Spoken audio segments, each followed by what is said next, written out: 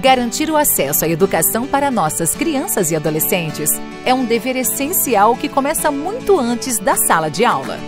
A Prefeitura, através da Secretaria de Educação, realiza grandes investimentos para oferecer transporte público escolar de qualidade e com segurança para os estudantes do nosso município.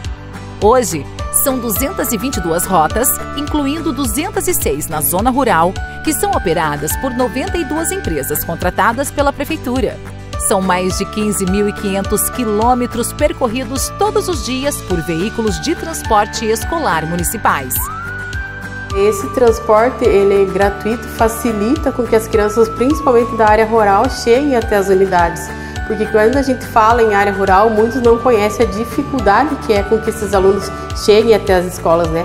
Para você ter uma noção, para eles chegarem no ponto onde passa o transporte, alguns caminham a mais de 2 quilômetros, de 2 até mais, né? Então isso já é uma dificuldade. Para chegar na escola, eles percorrem muito mais.